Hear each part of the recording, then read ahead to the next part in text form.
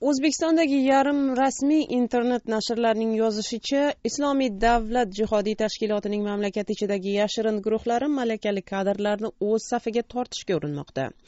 Endilikda guruh ko'p yillik ish tajribasiga ega va oliy ma'lumotli insonlarni o'z harakatiga jalb qilishga intilmoqda.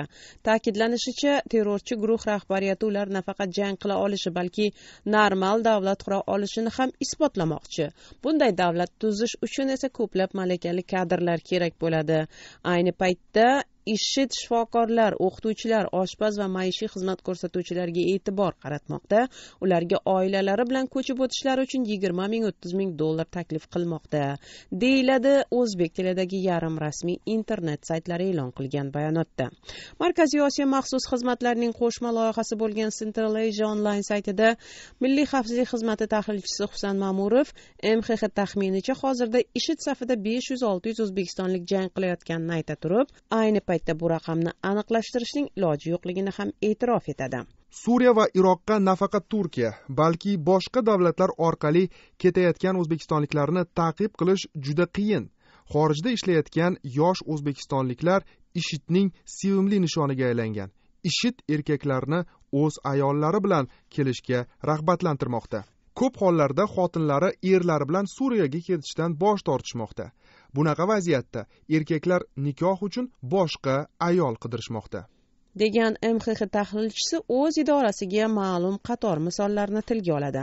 Turkiya suriya chegarasining turk hududidagi o'zbekistonlik ishchilar yurg'izayotgan jihodga odam yollash amallaridan yaxshi xabardor ozodlik manbasiga ko'ra bu hududda asosan islomiy g'oyalar bilan zombilashtirish yoki qo'rqitish orqali suriyaga bevosita jangari yollash jarayoni davom etmoqda. Ishidga odam yollovchi akaxonlar tuzog'iga tushayotganlarning asosiy qismi bilimsiz tuzuk quruq kasb kori bo'lmagan rossiyada har xil ishlarni qilib yurgan bolalardir. Oliy ma'lumotli vrach yoki o'qituvchini yoki kimgadir yigirma o'ttiz ming dollar berganidan xabarim yo'q.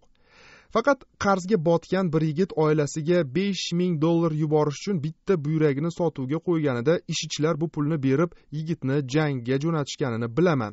Asosan birodarlik alloh roziligi uchun jihod kabi gaplar bilan avrashadi bolalarni. Deydi ozodlik manbasi. Qashqadaryolik vrach abdurahim bozorov o'z hamkasblarining rossiya qozog'iston yaman kabi davlatlarga pul topish uchun ketganidan xabardorligi lekin jihodchilarga xizmat qilish uchun suriya va iroqqa ketganidan bexabarligini aytadi. Bizlarni atrofda vrachlarni o'qituvchilari bunday qilgani haqida eshitganmiz aksiyalarga boru lekin bityapti lekin islom davlatlari ham shunchalik ketibdi deb eshitmadim o'zimizda ham vrachlar yetishmaydi. Mana men ishlayotgan joyda hozir uch stavka vrachga joy turibdi. Endi uzoqroq kelajakni o'ylash kerakda kelajakda atrofimizni tozalashimiz kerak kelajagimizni ertaga qayerga ko'milishimizni o'ylashimiz kerak faqat boylikni emasda moddiy tomondan boyib turib ma'naviy tomondan qashshoq bo'lib qolganlar ketsa kerak demayapman ularni ma'naviy tuzoqlari ham aldanib qolmasa kerakda deydi o'zbekistonlik vrach.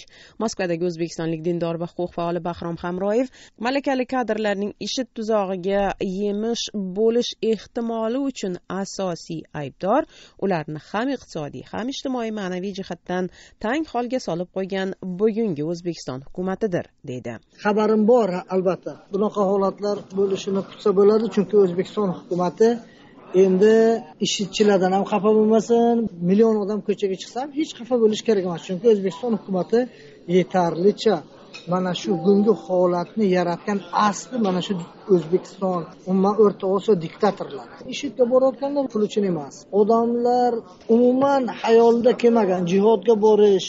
O'zi man igishga qarshi odamman igish jannatni va'da qilyapti karimov nimani va'da qiladi. Deydi o'zbekistonlik dindor va huquq faoli bahrom hamroyev. Bahrom hamroyev.